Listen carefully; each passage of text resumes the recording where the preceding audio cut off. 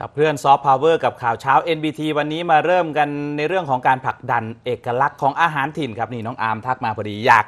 กินข้าวแล้วอ่าน้องอาร์มก็เป็น FC สายอาหารกินใช่ไหมสายค่ะกินนะครับ วันนี้จะพาไปที่สงขลาคุณผู้ชมครับ ย่านถนนนางงามนะ ที่นอกจากจะเป็นถนนเก่าแก่ใจกลางเมืองสงขลาแล้ว ซึ่งมีประวัติยาวนานกว่าร้อยปีแล้วครับ ที่นี่ยังมีแม่ค้าที่สืบทอดการขายเต้าคั่วเคยได้ยินไหมฮะอืมเต้าคั่วนะครับเป็นอาหารพื้นบ้านของชาวสงขลาที่นับวันจะหาทานได้ยากวันนี้เราเอามาให้เห็นให้ค่ะดูเลยนะครับ แล้วก็ชี้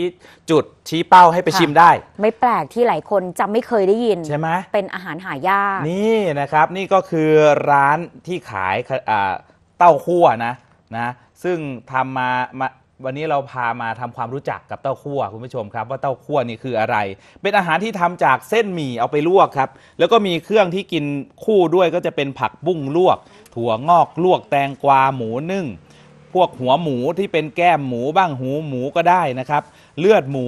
ไข่ต้มยางมะตูมนี่ขาดไม่ได้นะ ต้องเป็นยางมะตูมเท่านั้นนะ เต้าหู้ทอด กุ้งทอดกรอบ แล้วก็ทานคู่กับน้ำจิ้มเปรี้ยวหวานกับพริกน้ำส้ม ความโดดเด่นของที่นี่เอกลักษณ์เขาก็คือเขาใช้น้ำส้มตะโนดนะครับ ก็คือเอาน้ำตาลตะโนดเนี่ยมาหมักเป็นน้ำส้ม แล้วก็ผสมกับน้ำตาลตะโนดอีกทีนึงนะแล้วก็เอาไปผสมกับเต้าคั่วทำให้มีรสชาติอร่อยหอม แล้วก็หวานกลมกล่อม เป็นลักษณะเหมือนเหมือนข้าวยำอะ แต่ว่าใช้เป็นเส้นหมี่แล้วก็มีเครื่องต่างๆ มีผักมีเนื้อ มีไข่ต้มเนี่ยเอามาคลุกเป็นหมี่คลุกก็ว่าอย่างนั้นได้นะครับเขาสืบทอดการทำอาหารแบบนี้นะครับเป็นอาหารพื้นบ้านเต้าคั่วนี่ก็คือว่าคุณคนึงนิดเกลี้ยงช่วยนะครับวัย 52 ปีอยู่บ้านเลขที่ 58 อยู่ที่ถนนนางงามย่านเมืองเก่า เขตเทศบาลนครสงขลา สืบทอดสูตร เต้าคั่วจากคุณป้าเอียด หรือว่านางลบรักษาสอนซึ่งเป็นคุณแม่